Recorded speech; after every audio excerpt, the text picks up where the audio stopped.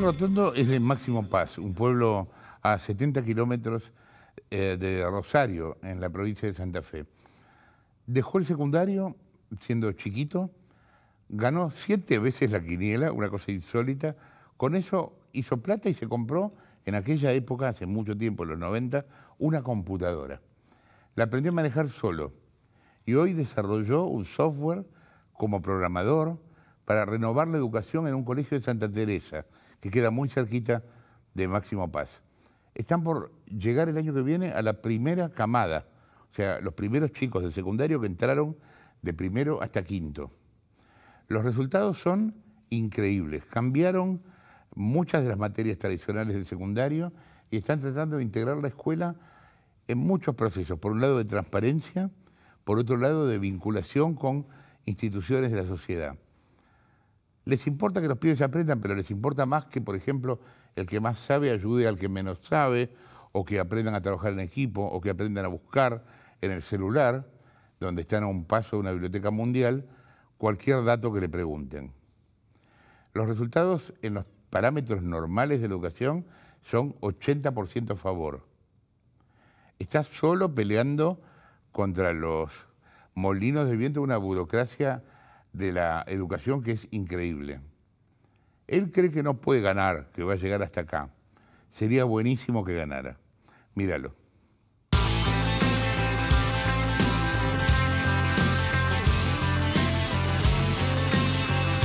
¿Cómo es Máximo Paz? ¿Cómo es Máximo Paz? Eh, un pueblo chico, muy, con mucha cultura, Ajá.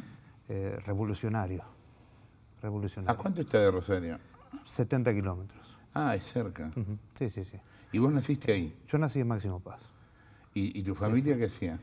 Eh, mi familia laburadora, mi papá trabajaba en una estación de servicios. eh, bueno, antes había trabajado en el campo. eh, ¿El pueblo vive básicamente del campo? O... sí, sí. Ahora aparecieron en los últimos años algunas pequeñas empresas, pero sí, sí, sí, el Mm. campo. ¿Y vos un día ganaste la quiniela? Gané siete veces las tres cifras a la cabeza en un año. ¿Siete veces ganaste quiniela? Ah, un delirio. Sí, un delirio. Un delirio. Sí, ¿Y ganaste mucha guita, suerte. o? Eh, gané, sí, sí, sí. Gané. ¿En qué año fue? Y habrá sido en los 90. Yo ya, ya perdí un poco el rumbo, pero Sí, sí, sí. fines de los, de los 80. Ajá. Este, sí, tuve un, un año de suerte. wow. Pero no jugaba gran dinero, ¿eh? Claro. No, no, no, alguna chirolita para, Ujú. para lo mejor, qué sé yo. ¿Y pero qué te- y pasaba. tenías que números que repetías o así? No, no, no. Jugaste No, no, porque sí. Suerte, sí, sí. Aleatoriamente, Sí, digamos. sí, sí, sí. No, no, obviamente no, no era jugador, pero había un muchacho grande, ya una persona grande, que pasaba todos los días y, y preguntaba si queríamos jugar a la quiniela y jugaba. Y jugabas, claro. Sí, sí. Y Pero te bueno. compraste una computadora. Me compré una computadora. eh, en el pueblo había una sola, en una, en una mutual en ese momento, de un club. eh, y yo me compré una computadora, no tenía ni idea ni sabía para qué servía una ¿Qué era? computadora. ¿Qué computadora te compraste? Era una XT que le decían, después de las Commodore. Ajá. Mm, Una vez vine a comprar una Commodore aquí a, a Capital y cuando me bajé del, del colectivo en, en- del tren en retiro me robaron. Así que me tuve ¿Te que afanaron la volver- computadora? Me afanaron la guita. Ah, la Me guita. afanaron la guita. Este, así que Y me volví sin, la Commodore. Y bueno, después de los años compré El la, modelo la posterior XT. Sí, sí, sí, sí.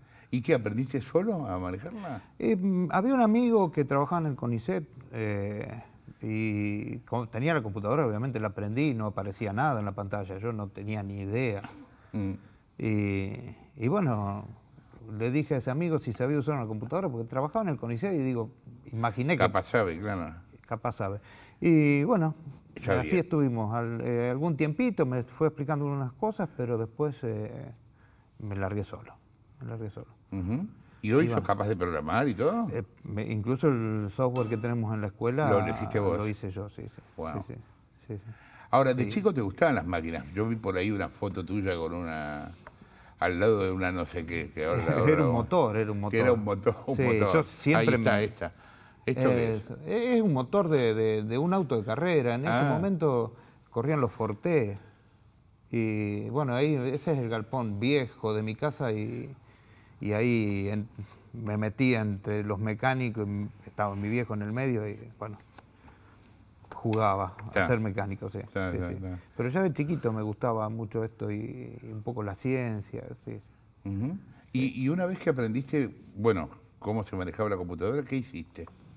Eh, a ver, hacía todo lo que podía, eh, colaboraba eh, con instituciones, escuelas, los bomberos del pueblo, eh, imprimir material, hacer eh, algunos banners que se hacían cartelitos. ¿Se lo diagramabas vos? Sí, sí, sí. eh, hacía lo que podía y por lo general lo hacía de, de- De onda. de onda, de onda, sí. sí, sí, sí. Sí, no, no, eh, nunca, en, en el principio nunca pensé que, que iba a ser para mi laburo, para nada. Sí, después pasó el tiempo y se convirtió en, en En mi medio de vida, sí. Mm. sí, sí. ¿Y, y vos estudiaste alguna cosa aparte de, de aprender como autodidacta la computación? Yo estudié, viví tres años en Buenos Aires, eh, en la Lucila. eh, mi viejo había venido por laburo acá y, y bueno, del 82 al 85 estudié en San Isidro y después... eh, ¿Qué estudiaste? eh, el secundario. Ah. El secundario. Llegué hasta cuarto y paralelamente había hecho un, en la vieja IADE, Escuela IADE, Ajá. había hecho un curso de técnico en radio y televisión. Blanco y negro, Ah, obviamente. mira. blanco y negro. Claro. Este, así que, bueno, ya me, me- me empezaban a gustar esas cosas. Incluso yo había visto las primeras computadoras ahí en, en, en IADE. Eh, y después, bueno, abandoné los estudios, me, me- fui de Buenos solo. Aires y estuve 14 años sin terminar. Eh, terminé la secundaria en una escuela para adultos. Eh, hice mi tecnicatura en administración de empresas. Inmediatamente, todo seguidito, hice mi capacitación pedagógica en tres años. Ajá. ¿Y en qué momento esto se deriva a la educación? Eh, un día con esto de las compus, bueno, me llaman eh, de una escuela que también, ¿De ahí de Máximo Paz? de Máximo Paz, sí, todavía estaba viviendo en Máximo Paz, me llaman para darle computación a los chicos. Eh, la comuna ya del pueblo ya me había convocado para, para dar también, un, un- como- había como una escuela de informática comunal, y estaba ahí y bueno, me empezó a gustar ¿Y los chicos tenían máquinas para...? no, sí, tenían de la comuna y de la escuela, una había de la escuela Ah, y en una piecita de dos y medio por dos y Ah, medio había... que se iban turnando para... Sí, a veces tenían 30 dentro de esa piecita, no sé cómo hacíamos, pero bueno, eh, los chicos se entusiasmaban mucho y bueno, aprovechamos eso. Eh, así que, bueno, ahí empecé, empezaron a gustarme de alguna manera estas, estas prácticas pedagógicas que, de las que no tenía ninguna formación, obviamente. Eh, incluso ya cuando terminé el, el secundario, eh, empecé un, para ser un profesorado, para ser maestro de grado. Eh, pero bueno, en, ese, en esa época mi viejo enfermó y, Y no bueno, no pude seguir y bueno, estuve medio año más sin, sin hacer nada, va, laburando Y, en otras y- y cosas. dándole clases a los pibes esta primera vez, ¿qué notaste? ¿Qué, qué, qué problemas vos veías que te movilizaron después a armar un sistema? A mí lo que me lo que me había de alguna manera enamorado en ese momento era eh, la- esas ganas que ponían los chicos ante cosas nuevas. Claro.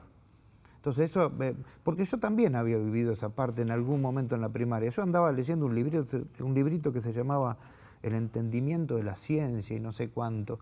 Me, me- me interesaban esas cosas, siempre me interesó y bueno, cuando a las vueltas de la vida volví a esa misma escuela y veía que los chicos a lo mejor estaban pensando lo mismo que había pensado yo, Claro. eh, me había empezado a movilizar. Eh, lo tenía ahí. Ujú. nunca Latente, digamos. Lo tenía Ah. latente, no había terminado todavía la No, te secundaria. preguntaba porque lo que pasa muchas veces, ahora ya menos, pero cuando introducen computadoras en las escuelas, es que son los maestros los que menos quieren eh, que, que- que las, que las incorporen, porque a veces ellos mismos no saben cómo manejarse. Sí, eso pasa, eso pasa hoy mismo. eh, muchos, eh, más con, la- con el celular, que uno tiene un montón de herramientas, después se encuentra con una computadora, incluso una notebook, y no, no, no la saben usar. Y, y esa distancia se, se nota mucho con los chicos que hoy a ver, tampoco es que sepan usar todo, pero por lo menos los chicos tienen una intuición tecnológica que nosotros no teníamos. Están familiarizados con una tecnología en la que nacieron y, y, crecieron, obviamente, sí, sí, sí. ¿Y, en qué momento empezás a desarrollar eh, este sistema? ¿Cómo llamas vos al, sistema que armaste? El, sistema es aprendizaje enfocado en el estudiante. Eh, tiene una pequeña diferencia con lo que es eh, el aprendizaje centrado en el estudiante. A veces uno habla de ese, modelo que tiene que ver con los intereses del chico y, está centrado precisamente en el estudiante. En este caso es un empoderamiento de los docentes, que se enfocan en cada uno de los estudiantes. Eh, eso quizás surgió también después, eh, no hace mucho, no hace mucho, hace 10 años. ¿Y qué eh, es para la primaria? Es para secundaria. Para secundaria. Secundaria. ¿Y cómo puede ser? Puede ser aplicado en cualquiera de los. Bueno, pero contame, ¿cuál es la diferencia de la educación tradicional, que es el tipo parado al lado de un pizarrón con los chicos? A ver, lo podemos pensar desde distintos puntos si hablamos de diferencias, eh, podríamos estar precisamente todo el día. Eh, a mí me gustaría pensarlo como algo nuevo. Eh, como algo nuevo. Es algo que. O sea, no compararlo con la educación tradicional. No, no. quizá comparándolo vamos a encontrar un montón de diferencias y vamos a encontrar también cuestiones antagonistas. y, creo que no se trata de eso, sino de buscar una nueva forma de enseñar y de aprender. Eh, creo que esto, más de un sistema, un, modelo educativo, es también un modelo de gestión. Eh, creo que el, primer punto que, a mí me interesó muchísimo es, eh, la gestión. y, ligado a eso, sí. Traducime gestión. Gestión. A ver, vengo realmente de la administración de empresas, así que claro. administrar una escuela desde el principio hasta el final, desde el momento en que eh, eh, en que hace falta un, un, insumo, una herramienta en la escuela, limpiar un, Todo. un baño, un salón, hasta el momento en que el chico termina la secundaria y, tiene su título. Eh, esa gestión tiene que ver con cuestiones que están muy relacionadas con mi formación de autodidacta, parte de de, esto de la electrónica, de la mecánica, etcétera, y después de esto eh, último de administración de empresas. Creo que esa mezcla eh, hizo que pudiera gestionar eh, la escuela, en principio transparentándola. Creo que las escuelas deben ser transparentes. Que debemos olvidarnos ya, si queremos antagonizar con ese otro modelo, de las escuelas cerradas, aulas cerradas, docentes cerrados, libros cerrados y que se abren para una oportunidad, sino de escuelas totalmente abiertas, eh, totalmente transparentes en su administración, en su gestión, en su puesta pedagógica. Vos hablas de participación de los padres, de los chicos. De toda la comunidad, de, la empresa, del gobierno, de, las universidades, los estudios superiores. Me parece que eh, hay algunas cuestiones que son mucho más difíciles que otras, obviamente. La cuestión con la familia y la cultura familiar es, crítica. ¿Qué es esto?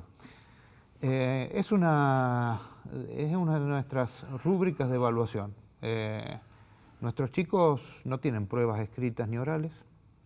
Eh, trabajan, el, docente motiva las actividades, los chicos trabajan, investigan, el docente los guía y luego valida este, este momento de coevaluación en donde los integrantes de cada equipo de trabajo, siempre trabajamos en equipo, eh, ponen de sí lo que, sus logros, los demás lo evalúan. lo evalúan o en algunos casos los, ponen en juicio y el docente lo que hace es eh, intervenir eh, para validar esas opiniones.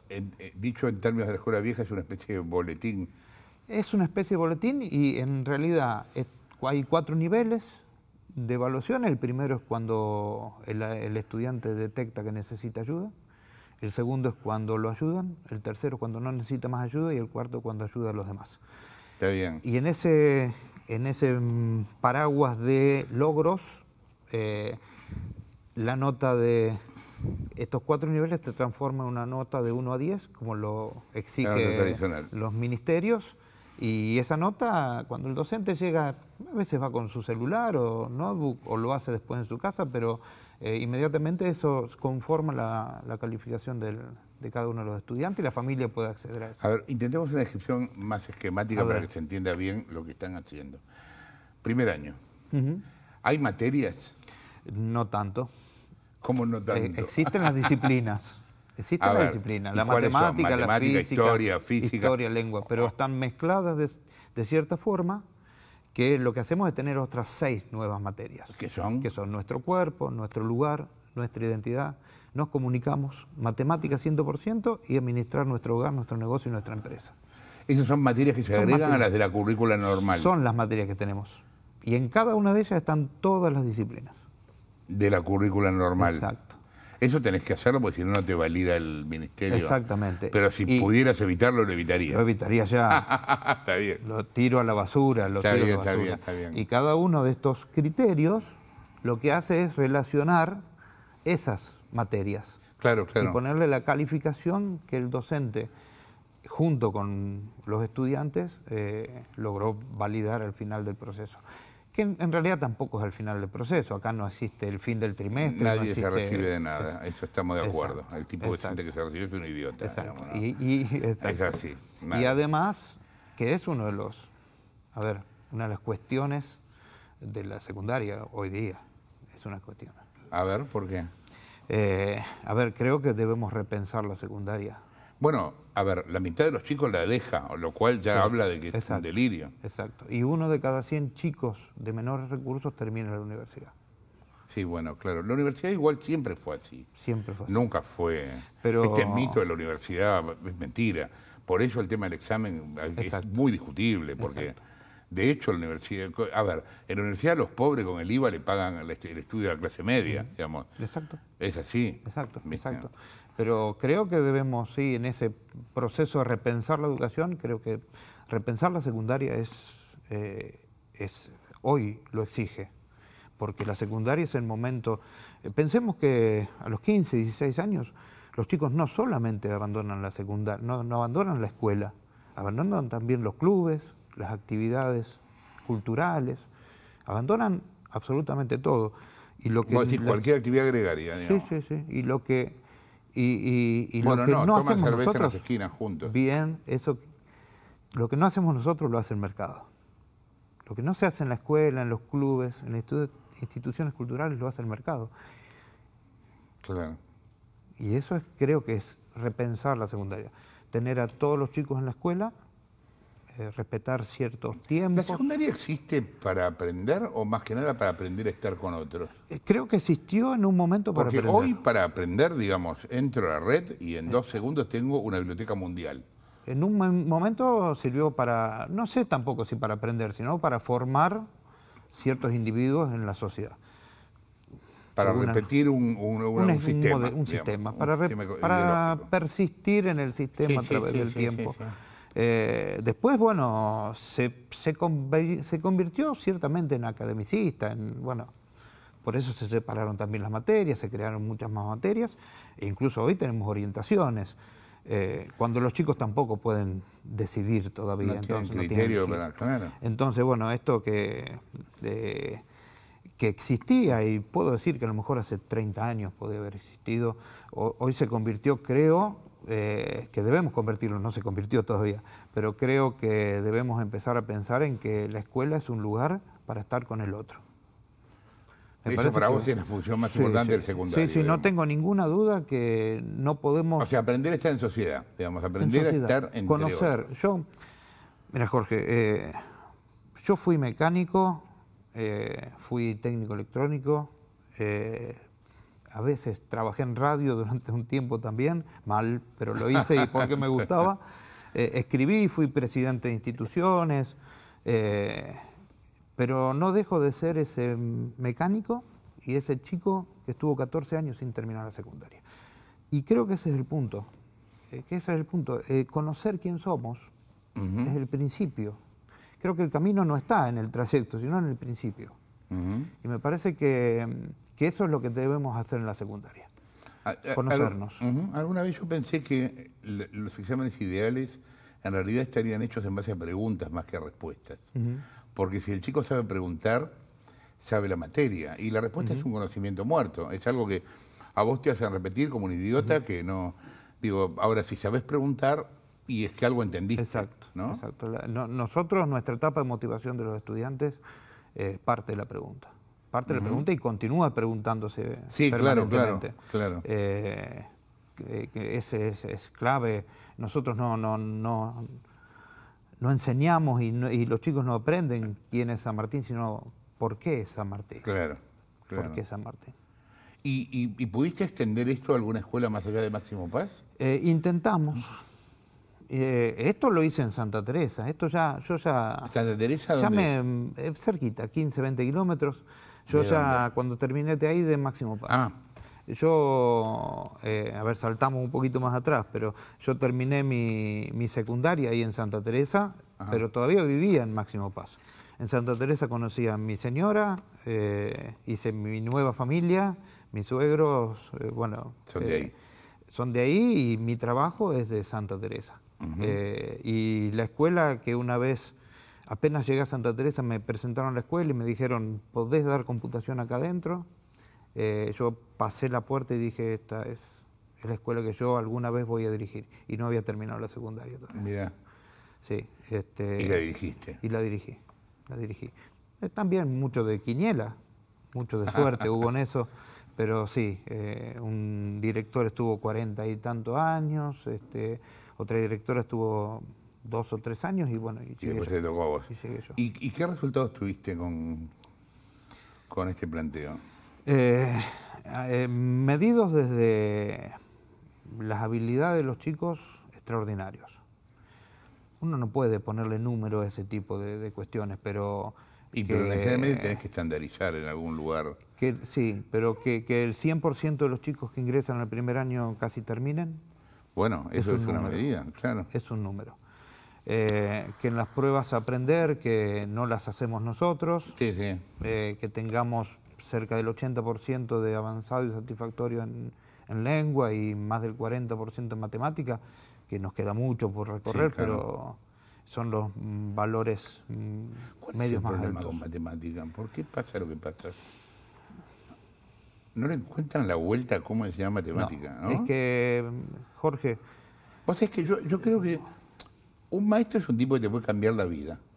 Y no se tiene conciencia de esto. siempre porque cambia la vida. es el tipo que te puede abrir una puerta que vos nunca en la puta vida pensaste y de golpe fue tu vida. Sí. Ahora, hay materias que realmente las dan mal, porque hay materias que son... Yo, a ver, yo, yo soy periodista, yo creo que todo es interesante. O sea, la historia del sombrero debe ser espectacular. Nunca la leí. Querría leerla. La historia del vaso debe ser buenísima. Bueno, lo que pasa es que todo depende de cómo te lo hagan despertar, de cómo hagan que, viste, que a vos eso te, Mira, Jorge, te interese. Y con la matemática siempre hay un quilombo. eh, hace 15 días estuve en una escuela del Hogar de Protección al Menor, de el Padre Santidrián, no sé, si- fundado por el Padre Santidrián. Eh, una escuela de esa fundación, en donde, de ese hogar, en donde van hijos de, mm, a ver, delincuentes, Sí, sí, sí. eh, prostitutas, eh, chicos que están abandonados, que sus padres han... De sectores muy marginales. Muy marginal, muy marginal. Sentarlos uno detrás de otro, enseñarles matemáticas es posible. ¿Cómo? Lo pregunto, ¿cómo? Si no, posiblemente vayan a la escuela a comer. Sí, claro. Entonces, cuando Lo que el pasa Estado... es que nunca vas a tener la es que situación cuando ideal, el Estado situación ideal no existe. No existe, O pero sea, cuando el no Estado deje, Jorge, de, de controlar la educación y la educación la controlan las mismas escuelas, vamos a empezar a aprender. Porque las escuelas saben, es ese principio, ese Ariel Rotondo, ex mecánico de 14 años, sin terminar la secundaria y que está en esa escuela. Cada estudiante es esa escuela. Entonces, desde arriba es imposible traer matemática cuando la matemática no sale de abajo, Pero ¿y cómo haces para que la matemática salga de abajo? ¿Cómo? escuchando, construyendo la escuela desde el inicio, desde el inicio, desde la sociedad. La escuela debe ser construida desde la sociedad. La escuela debe ser hecha por mecánicos, si se quiere. Yo no, no quiero entrar en no, cuestiones porque no soy pedagogo, Jorge, pero yo veo la realidad. Yo veo los chicos que terminan, los que se les cambia la cara del primer día que entran hasta el último, los que tienen nuevas posibilidades y, el- y después no le estamos dando esa, otra posibilidad. Entonces, eh, a ver, la- la escuela debe ser pensada de nuevo. Sí, sí, no eso podemos está claro. Eso está claro. revolver la basura y hacer otra cosa. Debe- Mm. Debemos pensarla de nuevo. Yo creo que, que el, el principal acierto que hemos tenido nosotros es, eh, fue, si se quiere, ese. Eh, no- tampoco lo hicimos Empezar del y todo dar de bien, ¿eh? nuevo, digamos. Tampoco lo hicimos. O por lo menos ver qué cartas tenían los demás. Está bien, está Está. bien. Empezar a jugar con las cartas de los demás. Hoy la escuela esta en Santa Teresa, en todos los años, está usando este sistema Sí, este. sí, nosotros empezamos de golpe. ¿Y, y qué camadas vas? Eh, el año que viene termina la primera promoción pura. Es la primera promoción modelo. pura de la Exacto. escuela. Los chicos que están hoy estuvieron eh, seis meses con el modelo, si se quiere, tradicional. Ajá. Sí, sí. Este, en, en ese periodo tenemos este 96% de, de chicos que ingresan y, y terminan, dos repitentes. Ahora, perdóname, una cosa Sí. que se me pasó y que cuando vos dijiste te quería preguntar. la, ¿La circunstancia socioeconómica del lugar ayuda a que esto sea así? De- ¿Es un lugar pobre o es un lugar más o menos No, no, es un lugar normal. que tiene gente pobre, gente, Gente de pobre, media? gente de media, gente O rica. sea, ¿hay chicos que van a comer al colegio? No, no, no. ¿Y por qué? No, no. No porque el colegio no, no, no tiene comedor, simplemente. eh, Ok, si lo tuviera iría. Si lo tuviera, me gustaría que vayan todos, no los que necesitan. Ok. Eh, yo fui a Finlandia, recorrí una escuela y allá no, importa si sos rico, si Ah, sos van y comen en el colegio, van y pero- comen. Bueno, en los colegios privados muchos es así. Muchos también, sí, sí, sí. No, no, yo creo que también esto de, de comer y, y compartir las cosas también es una, una acción pedagógica y ejemplificadora. Pero digo, hay, hay chicos de, de todas las, la- la- eh, las áreas sociales, eh, tanto económica, cultural, eh, incluso chicos que llegaron ese año a la localidad y otros que son familias tradicionales de la localidad. Hay, hay Sí, mucho sí, de hay eso. de todo. Sí lo que es cierto que em, a nuestra escuela no iban todos en un momento. Eh, los que salían de la primaria, algunos iban a otra escuela que había en Máximo Paz precisamente, una escuela taller, una escuela técnica, entonces muchos iban para allá. Hoy en este momento prácticamente el 100% de los chicos que salen de la primaria pasan ¿Qué pasan ahí? Sí, sí. ¿De qué manera se conecta la escuela con, con la vida real? De, de muchas maneras. Eh, nosotros tratamos que los proyectos que llevan a cabo los chicos sean socialmente significativos. Tenemos una plaza comestible, eh, no sé, no es de chocolate, eh, digamos, tiene frutales, verduras, etcétera, en donde colaboran incluso INTA, la Ajá. comuna. Ah, se integran con otras instituciones del lugar. Con las otras escuelas, con el, eh, el asilo de ancianos, eh, bueno, están todos ahí integrados de alguna forma. Vos lo que proponés es de alguna manera que las escuelas sean como celulares, digamos, como que, que, que- que tengan que ver con su entorno y no con el país, digamos. La, constru- la escuela se construye desde adentro. Sí, sí, eh, eh, la escuela necesita autonomía. No podemos tener docentes autónomos, mejor dicho, no podemos tener directores autónomos si no somos, tenemos un sistema autónomo. Menos vamos a tener Pero los directores hoy docentes. no son autónomos. No. No. Quizás También hay yo, me, mucha- ¿Eh? quizás yo me, me robé algo de autonomía, pero bueno, no, No, bueno, está a bien, vos nadie. encontraste una manera. No le avisen a Sí, nadie, Está bien. sí. Eso fue tu mérito, Sí, digamos. ¿no? sí, bueno, el mérito Bueno, sí, sí, sí. y de los que me acompañan. Ahora, también hay mucha cosa corporativa, a veces entre los directores y los maestros. Sí, Es muy raro que un director califique mal a un maestro. Exacto. Yo a veces pienso, eh, ponele, en un aula de 30, 15 se van a examen. ¿Y el fracaso de quién es?